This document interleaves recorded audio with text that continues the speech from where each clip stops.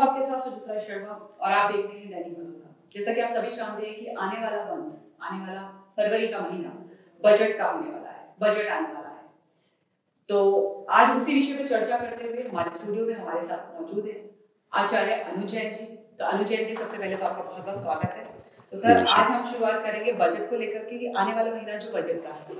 तो उसको लेकर के कि आने वाले उसमें बजट में क्या अर्थव्यवस्था होने वाली है उसका क्या इफ़ेक्ट पड़ेगा? तो हम आपसे आपकी राय जानना चाहेंगे कि आपके अनुसार कैसा जाने वाला है। ओके सो बजट की डेट है फ़र्स्ट फरवरी 2023 और ये 11 बजे के आसपास लगभग प्रेजेंट होगा। ये फिफ्थ बजट होगा फाइनेंस मिनिस्टर निर्मला सीतारमन जी के द्वारा और शायद ये आखिरी बजट हो जो फुल फ्लैज बजट हो, क्योंकि इसके बाद नेक्स्ट ईयर के अंदर कहीं पर इलेक्शंस भी हैं। सो so ये अपने आप में वैसे भी इंपॉर्टेंट रहता है। एस्ट्रोलॉजिकली जिस समय के ऊपर हम इस बजट को सीतारमन जी प्रेजेंट करेंगी, उस समय के ऊपर मेष लग्न यहाँ पर उदय हो रहा होगा। और यहाँ पर मेष लग्न के अंदर राहु होगा। तो राहु के कुछ मीनिंग्स हैं जो कि इस बजट के लिए खास तौर पे काफ़ी इंपॉर्टेंट है। जैसे कि एक टोटल अनएक्सपेक्टेड बजट रह सकता है फुल ऑफ़ सरप्राइजेस रह सकता है। फुल ऑफ़ बिग अनाउंसमेंट्स रह सकता है और इसका फोकस कहीं ना कहीं बिग इंस्टीट्यूशंस के साथ में जुड़ सकता है, क्योंकि राहु इंस्टीट्यूशंस को रिप्रेजेंट करता है। और ये मल्टी डायमेंशनल एक बजट रहेगा not on a single line it will be multi dimensional project और प्रोजेक्शंस जिसका कि मेन फोकस बिज़नेस के ऊपर होगा। यहाँ पे एक चीज़ और भी इंपॉर्टेंट है कि राहु की ट्राइन मरकरी के साथ में होने के कारण ना केवल ये बिज़नेस या उद्योग जगत के लिए अपने आप में बहुत इंपॉर्टेंट होने वाला है बट ऐसा भी हो सकता है शायद कुछ स्ट्रिक्ट मैयर्स आए या बाद में एड ऑन आए because Mercury and Rahu basically is a repetitive element so हो सकता है कि शायद इस बजट के अंदर हम बाद में आने वाले कुछ महीनों में देखेंगे कि कुछ एडिशंस या उसके अंदर कुछ मॉडिफिकेशंस भी हमारे सामने आई हैं। डिजिटलाइजेशन मुझे लगता है कि इस बजट का एक मेन फोकस रहना चाहिए। क्योंकि मर्क्यूरियल एलिमेंट्स जो है, वो इसको बहुत स्ट्रांगली रिप्रेजेंट्स कर रहे हैं। So may be digitalized payments IT sector जो कि पिछले लगभग एक से डेढ़ सालों के अंदर हमने देखा है कि काफ़ी डाउन है, शायद उसको अपलिफ्ट करने के लिए इकोनॉमी में इस समय के ऊपर काफ़ी बड़ी अनाउंसमेंट्स देखी जा सकती हैं। फ़र्स्ट कस्प का स्टार लॉर्ड यहाँ पर केतु भी है which is abruptive planets which simply means roads highways infra automobile industries and railway ये यहाँ पर प्राइम फोकस होगा। और सबसे इंपॉर्टेंट बात यह है कि जुपिटर चूँकि ट्वेल्थ हाउस के अंदर आ रहा है आई थिंक बजट का जो मेन एलोकेशन होगा, वो कहीं ना कहीं मेडिसिन के ऊपर हेल्थ के ऊपर सैनिटेशन के ऊपर काफ़ी ज़्यादा हो सकता है। तो ये मुझे लगता है कुछ हाइलाइट्स हैं। एंड जुपिटर चूँकि नाइन्थ का भी लॉर्ड बनेगा कुछ ना कुछ एक्सपेक्टेशंस मुझे टूरिज़्म सेक्टर से भी हैं कि यहाँ पर एविएशन और टूरिज़्म सेक्टर को लेके भी बहुत सी चीज़ें सामने आएँगी। कुल मिला के मिला जुला भी रह सकता है और बहुत बेहतर भी जा मिला जुला रहेगा बेहतर रहेगा एक स्ट्रिक्ट गाइडलाइंस रहेंगी और एक इम्पोर्टेंट अनाउंसमेंट्स भी हम इस बजट के अंदर देखेंगे। क्या आपको लगता है कि वित्त मंत्री निर्मला सीतारमन आयकर छूट में इनकम टैक्स की छूट को लेकर कोई बड़ा कोई बड़ा फैसला ले सकती है? या कई सालों से इसको लेकर के हर बार जो चर्चा होती है लेकिन हर बार सरकार को लगता है किसी ना किसी वजह से फैसला टाल देती है। तो आपको इस बार क्या लगता है कि इस पे कोई छूट मिलेगी? बढ़ेगी? आई डोंट थिंक कि कोई डायरेक्ट इम्पैक्ट है because Rahu is there so एक मैनुपुलेटिव इफ़ेक्ट है। इनडायरेक्ट रिलीफ लेकिन डेफिनेटली हमारे को मिलेगा। सिंस सेकंड लॉर्ड वीनस है और वो इलेवेंथ में प्लेस्ड है तो वहाँ पर फाइनेंशियल गेन्स जो है, वो गवर्नमेंट के फेवर्स में ज़्यादा हैं। सो मे बी शायद ये बजट एक ऐसा होगा जहाँ पे गवर्नमेंट अपने फेवर्स के लिए कुछ डिसीजंस ले। यहाँ पे वीनस की कंजंक्शन हम देख रहे हैं कि सैटर्न के साथ में है which is called law so law regarding finance के अंदर gains to the government side will be there so I don't believe कि बहुत ज़्यादा वहाँ पर रिलीफ होगा मेकओवर हो सकता है, और इनडायरेक्ट बेनिफिट्स वहाँ पर क्रिएट होंगे. So treasury has to be look first in this budget this is my opinion तो सर, मेरा दूसरा सवाल होगा कि मोदी सरकार महिलाओं को लेकर के जिस तरह के दावे करती है या महिलाओं को लेकर जो सशक्तिकरण पर ज़ोर है तो क्या आपको लगता है कि मोदी सरकार महिलाओं पे आधारित जो इकोनॉमी है, उसको लेके कहीं उनके कदम जो है कोई बढ़ावा मिलेगा? या ऐसे किसी भारतीय अर्थव्यवस्था पे कोई असर दिखाई देगा definitely because the seventh lord जो अपोजिशन पार्टी यानी जो पब्लिक है, उसका जो लॉर्ड है, वो वीनस है। वो सेकंड का भी लॉर्ड है और इलेवंथ के अंदर प्लेसमेंट है। तो मुझे लगता है कि डेफिनेटली वुमेन्स की एम्पावरमेंट्स को लेके, उनकी फाइनेंशियल ग्रोथ को लेके कुछ ना कुछ रिलीफ ज़रूर आएगा। मनी मैटर्स के अंदर टैक्स मैटर्स के अंदर विमेंस को बेनिफिट मिलेगा। And specially since Ketu is there I believe जो डिस्ट्रेस क्लास है अमंग द वुमेन और जो वर्किंग क्लास है among the women that will be highly beneficial from this budget तो आने वाला जो बजट है महिलाओं के लिए इकोनॉमी उस पे अर्थव्यवस्था देखी जाए तो बेटर यस ट्रू मेरा अगला सवाल होगा कि भारतीय अर्थव्यवस्था रियल एस्टेट का अपना ही एक बड़ा रोल है। इसको लेकर तरह तरह की प्रयास भी लगाए जाते हैं। सरकार नए घर जो घर खरीद रहे हैं उनको प्रोत्साहन करने के लिए कि कुछ नई घोषणा ऐसा कुछ कर सकती है।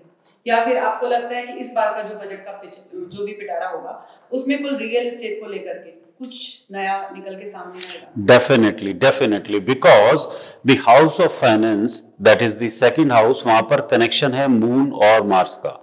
और मून वहाँ पे फोर्थ का लॉर्ड जो कि भूमि का लॉर्ड होता है इंफ्रा का लॉर्ड होता है, बनकर उभरा है और मार्स वहाँ पर उसका सिग्निफिकेटर होता है।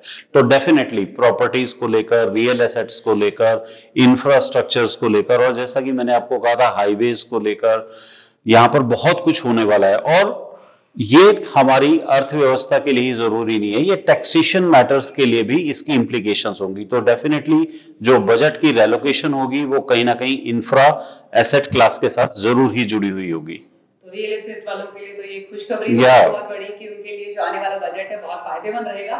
चलिए अगले सवाल होगा मेरा कि किसानों के आय को लेकर। लगातार जो बातें होती आई है मोदी सरकार किसानों को लेकर के बहुत ज़्यादा बढ़ाने को लगातार उसमें आय बढ़ाने में लगी रही है। साथ ही कोई ऐसी घोषणा कर सकते हैं कि जिसमें जीवन स्तर का जो उनकी शैली है उसमें कुछ काम आए? या फिर आपको ये लगे कि क्या किसानों के लिए कुछ ऐसा खास होगा? Definitely it is a very strong probability और उसके कुछ लैमोर रीजंस हैं।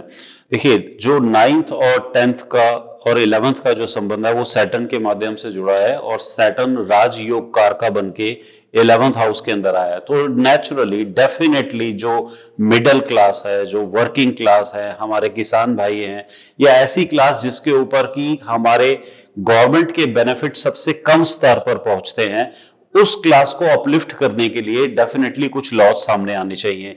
उनके लिए फाइनेंशियल कुछ इक्वेशंस बननी चाहिए और इसकी काफ़ी स्ट्रॉन्ग पॉसिबिलिटी है, क्योंकि जैसा मैंने आपको कहा कि सैटर्न मेरे को इलेवंथ के अंदर नज़र आता है, जिस समय के ऊपर ये अनाउंसमेंट्स हो रही हैं। सो डेफिनेटली यहाँ पर मेरे को लगता है कि ये लो इनकम ग्रुप को मैक्सिमम टेक अवे मिलेगा and it will be beneficial for them आगे मेरा जो सवाल है आपसे कि आने वाले साल में अर्थव्यवस्था में मंदी रहेगी?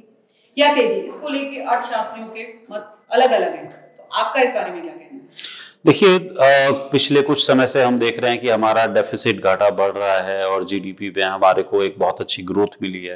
तो उस चीज़ को देखते हुए जो मोदी सरकार के प्रयास हैं, वो काफ़ी अच्छे नज़र आए हैं। और इस साल भी चूँकि जब ये बजट की अनाउंसमेंट हो रही है तो कुछ चीज़ें हैं जहाँ पर जिनके मेयरमेंट्स के हिसाब से मुझे ऐसा लगता है, डाटा प्रूवन की जो हमारी इन्फ्लेशन है इन्फ्लेशन हमारी लो होना चाहिए और ये भी पॉसिबिलिटी है कि कुछ unfavorable misunderstandings among the economy at the initial stage आनी चाहिए। May be up to March और मे और मार्च और मई का पीरियड गुजर जाने के बाद यहाँ पर बाजारों के अंदर स्टॉक एक्सचेंज के अंदर जो हमारा सेकंड क्वार्टर जो आएगा, वहाँ पर हम बाजारों के अंदर उस तेज़ी को महसूस कर पाएँगे। हमारी इकोनॉमी आगे बढ़ेगी। जुपिटर ट्वेल्थ के अंदर है तो ये तो बात बिल्कुल पक्का है कि फ़िज़िकल डेफिसिट को काट पाना इनके लिए मुश्किल होगा, क्योंकि एक्सपेंडिचर्स कहीं पर बहुत ज़्यादा होने वाले हैं। ये जुपिटर की एक बहुत स्ट्रॉन्ग सिग्निफिकेंस है कि वो इन्वेस्टमेंट्स वगैरह के लिए काफ़ी बढ़ सकता है। और इसमें एक बात समझने वाली ये भी होगी कि गवर्नमेंट जिस तरीके से पीएसयू बैंक्स के बारे में state own companies steel plants infra आदि के बारे में जो लिमिटेड मूव्स अभी तक ले पाई है 2022 में, जो बहुत डिसइन्वेस्टमेंट्स नहीं हो पाए हैं। मुझे लगता है कि उनके बारे में गवर्नमेंट सीरियसली शायद इस टर्म के अंदर उसको फिनिश करने की तरफ़ से जाएगी। More of the sale assets will be there in the coming time of this year तो सर आपको क्या लगता है कि इंडियन इकोनॉमी की जो गति बरकरार रहेगी या इसमें भी कोई झटका लग सकता है? जैसे कि दुनिया में मंदी की जो आहट चल रही है इस दौरान भारत का प्रदर्शन उसमें कैसा रहने वाला है? हमारे रोज़गार के जैसे मुद्दे हैं उनको लेकर के भी काफ़ी बातें होती हैं। तो आपको क्या लगता है कि इस बार इस बजट में ऐसा क्या होगा? हमारा मेरे हिसाब से जो ध्यान होगा वो इस समय के ऊपर इंफ्रा इंडस्ट्री की अपलिफ्टमेंट ऑटो इंडस्ट्री की अपलिफ्टमेंट और आईटी इंडस्ट्री की अपलिफ्टमेंट के माध्यम से होगा। और यहाँ पे मरकरी की नाइन्थ प्लेसमेंट जो है ये इसके टर्न अराउंड इन सेक्टर्स के अंदर हमारे को देखना को मिलेगा। गवर्नमेंट बिज़नेस और एग्रीकल्चरल सेक्टर को मेनली प्रमोट करेगी। और मरकरी जो कि नाइन्थ का स्टेप्स है, उसको कभी कुछ और स्टेप्स चाहिए होंगे, जो कि हमारे सर्विस सेक्टर और कंज्यूमर सेक्टर को आगे प्रोत्साहन करने के लिए। तो इन्हीं माध्यम से मुझे लगता है कि सरकार अपनी रोज़गार नीति को भी प्लान करेगी और बिज़नेस को ग्रोथ देके रोज़गार को भी डेफिनेटली ग्रोथ मिलेगा। और वहाँ पर हम अपनी बेरोजगारी से इन्फ्लेशन से कुछ छुटकारा पा पाएँगे। Yes, it is a very important budget, and we must have to see how uh, the finance minister Sitharaman presents its and how industry किस तरीके से उसको हाथों हाथ लेती है may be after some time अगला सवाल मेरा ये होगा क्या भारत में केंद्रीय बजट रोज़गार के मोर्चे पर आपको क्या लगता है कि इंडिया अच्छा प्रदर्शन करेगी?